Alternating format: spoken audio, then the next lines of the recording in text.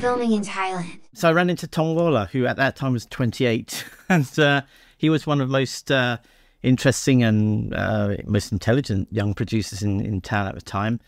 And uh, he asked me where I was going. This was probably the year after um, Christmas. I said, "Oh, I'm off to Thailand." And he goes, "Why are you going there?" I said, um, "Well, I've got a screenplay that I'm developing, and I'm going to go back and do some research and check a few locations." And he goes, "When you get back, let me have a look." I said, "Why?" And I didn't know that he was half Thai, but he was half Thai, and um, that was but because this is taking place in the UK. That's right. Yeah, I was living in in London at that time.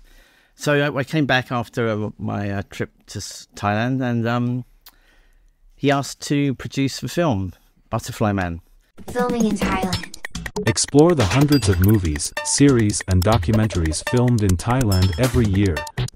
This is filming in Thailand.